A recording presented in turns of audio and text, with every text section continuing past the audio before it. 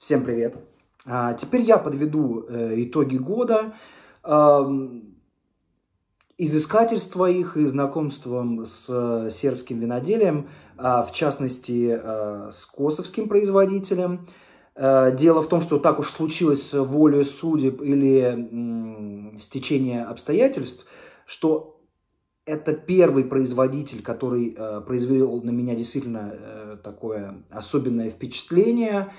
Э, и самое интересное, что это впечатление осталось со мной э, потом на протяжении года. И теперь, когда я э, делаю уже какое-то резюме,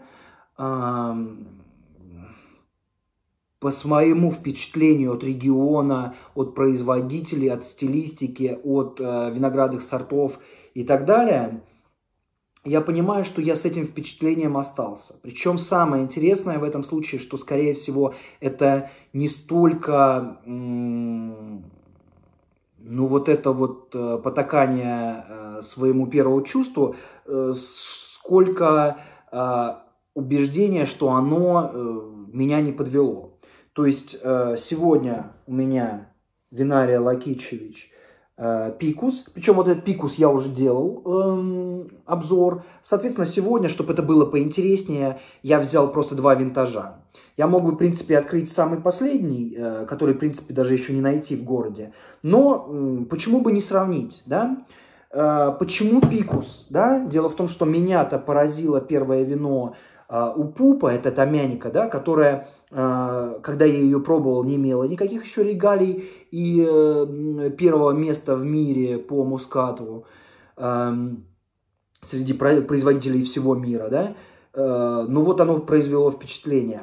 А потом, как я начал пробовать э, в разное время эти вина, каждая из них открывалась мне заново. И вот этот пикус последний а, меня заинтересовал больше всего, потому что оказалось так, что он отличается от общей линейки. Общая линейка, она, скажем так, она такая чистая, выверенная, как говорил винодел. Если вы, кстати, не посмотрели его интервью, э, предлагаю вот вернуться на э, несколько видео назад, да, и посмотреть эту серию, потому что достаточно интересно, да. Это другой взгляд на мир, это а, другой взгляд эм, ну, другое мнение, скажем так. А это всегда интересно, да. Вот, вот этот пикус, он отличается тем, что он э, более такой вот диковатый, более выделяющийся из всей э, линейки.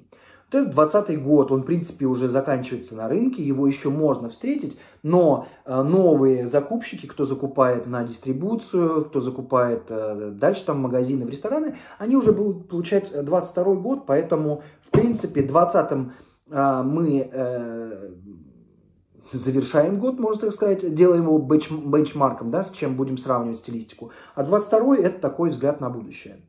20 э, уже, давайте по цвету, э, ну, вино видно, что не, не, не, не, не 22 не 21 года, то есть такая желтинка достаточно сильная для инокса, да, вино не выдерживает в бочке, поэтому, в принципе, такая желтинка уверенная, но не переходящая в какой-то вот такой вот э, э, перебор, такой диссонанс, да, когда мы там знаем, что там какие-нибудь пиногриджио бывает годик постоят на полке, и цвет у них вот ближе уже к такому.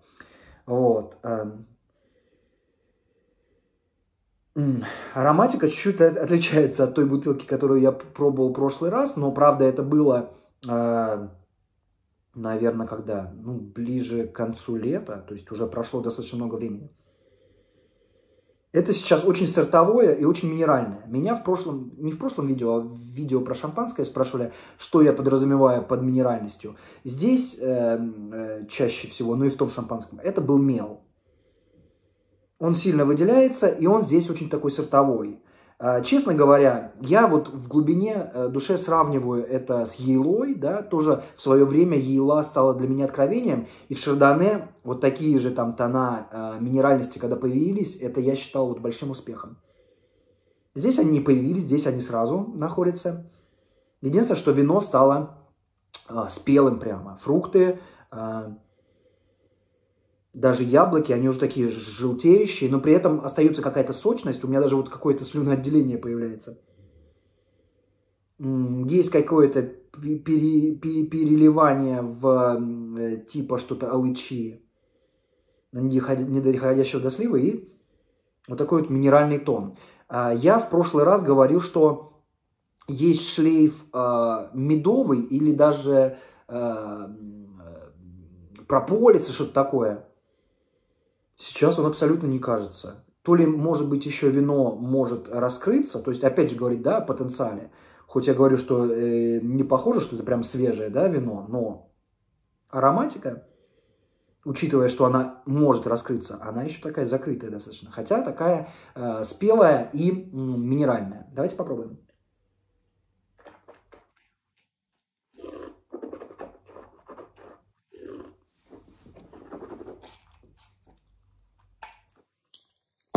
Очень классная кислотность. Определяющая, наверное. Потому что она прямо так... Э, ну и чувствуется с одной стороны, а прямо так тебя вышвыривает в этот мир качественного вина. Вот я говорил, что, э, в принципе, сербское вино достаточно качественное. Но когда ты пробуешь такие вина, ты понимаешь, что есть вина, ну, скажем так, более высокого уровня, что ли, скажем так. Офигенная ароматика. Во вкусе это поддерживается. Может, более оно переходит с яблока на что такое сливовое, ближе к лыче все-таки, не очень спело. Но вот эта вот э, спелость, она чувствуется уже во вкусе. Она пробивается потом после кислотности, потому что встречает кислотность достаточно высокая, такая а, прямолинейная. Очень классная послевкусие. Кстати, дайте еще раз попробуем.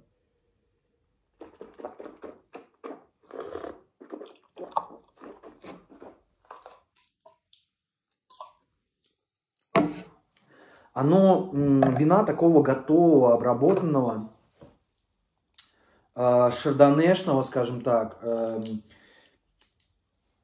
э, хочется сказать, что там подходит все к грейпфруту, и может быть он здесь и есть, но из-за того, что вино э, вот так воспринимается достаточно спелым, э, то этот грейпфрут, он как бы не такой очевидный. Он играет совсем такими э, гранями, э, которые прячутся, может быть, теперь за более спелыми фруктами. Да? Может быть, там э, полгодика назад это вино и могло быть э, более таким вот э, в свежие фрукты. Теперь это вино такое ну как сказать, балансированная, что ли, э, рич, богатая, да, и поэтому у него есть э, вот это наполнение, которое кроме свежести дает еще и э, глубину э, готовых фруктов. 22 год я, по-моему, пробовал. А, я пробовал, кстати, да, это тоже было летом. Эм, в чем весь прикол? Что 21 года Шардоне Барик, она просто офигенная, и оно, возможно, станет новым призером вот этого эм, э, французского э, конкурса международного, да, потому что потенциал практически Шабли и Шабли премьер Крю. А, но я не отрицаю этого. Но для меня оно такое закрытое и очень такое очень правильная. И опять Пикус вот этот 22 -го года, э, без Барика, он опять, э, может быть, он не такой, э, как сказать, не такой породистый, э, как э, э, бычковой да, вариант. Э, он может быть более озорной, но, честно говоря, вот под э, э, ну, хочется сказать, под давлением времени, но скорее под э, э, просто по актуальности, он даже вот и интересней в плане, он такой, может быть, даже немножечко нервный, э, не собранный, ну, этим он и хорош, да, особенно в таком свежем виде. Смотрите, да, когда мы берем вина Лакичевича, свеженькие, они практически все прозрачные они даже немножечко борются с этим, потому что ну, прозрачное вино э, маркетологически как бы э, не совсем верно, да, оно должно отличаться от воды. Но для меня, когда остальные вина все имеют э, цветовую гамму достаточно обширную, от э, легкой э, золотинки до там чуть ли оранжевых вариантов, розовых, да, когда уже белое вино розовит, вот, э, то вот это становится вот чем-то особенным. Хотя, честно говоря, по-моему, были у меня до этого вина там в, винном прошлом, да, которые были прозрачные. Кстати, вот вспомнить бы свою реакцию на это было бы неплохо. Э, цвет прозрачный, есть золотинка, ну, мне очень нравится, что он такой вот прям свеженький. Очень они похожи по ароматике, но вот здесь можно сказать, что только яблоко. Более оно действительно цитрусовое такое, э, потому что есть что-то такое лимонно-лаймовое, но вот в оттенках. И опять очень серьезная минеральность.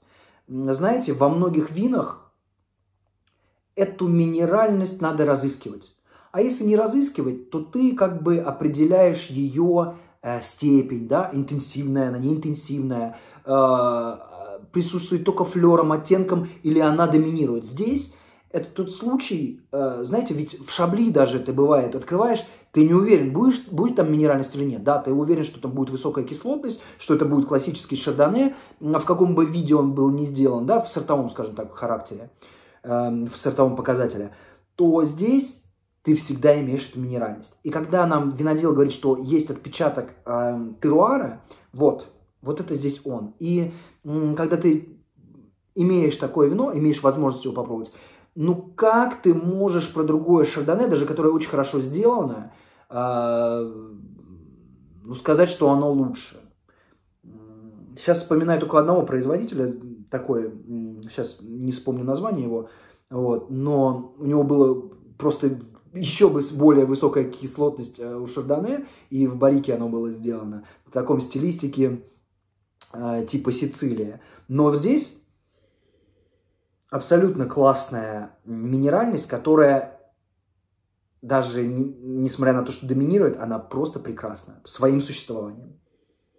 И при этом вот есть оттенки вот этого лайма, грейпфрута, причем лайма, когда ты его имеешь рядом с такой с текилой, типа, вот какой-то еще такой вот слоноватости, вот что-то в этом все присутствует.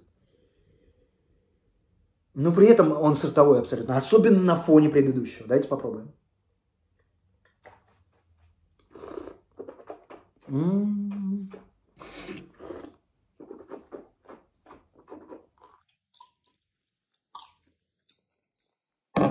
Если бы я не пробовал вина а, другие 2022 года, я мог бы сказать, что вот, ребята, оно свежее, поэтому оно поинтереснее. Но дело в том, что этот производитель растет год от года. Каждое новое вино ты пробуешь, что белый, что красный, вот скоро оранжевый будет. Можно сказать, что это разные года, что где-то было жарче, где-то холоднее, но учитывая их положение, опять же, можно вернуться к интервью с виноделом, растет класс, растет качество, растет вкусность вина. Вот это вино прямо кайф. И, честно говоря, сейчас, когда есть возможность взять 20 да, надо брать 20 Но когда будет даже такое, что на полке стоит, а, у него есть такое э, с Ореолусом было, с блендом, да, Шардоне, Савиньон Блан, Рислинг, Соларис. И было такое с Мирулой, тоже 19 20 попадается. Вот Мирулу я предлагаю 20 брать. То здесь тоже, когда у вас уже на полке будет и 20 и 22 берите 22 но это кайф. Если можно заменить шабли э, за такую цену, даже не хочется говорить о замене, о замене шабли, хочется говорить, что в Сербии, в Косово есть своя звезда, пока еще затемненная обстоятельствами, но, честно говоря, я мечта... даже не просто верю, а я мечтаю верить, вернее, рад, что у меня есть возможность верить в нового производителя.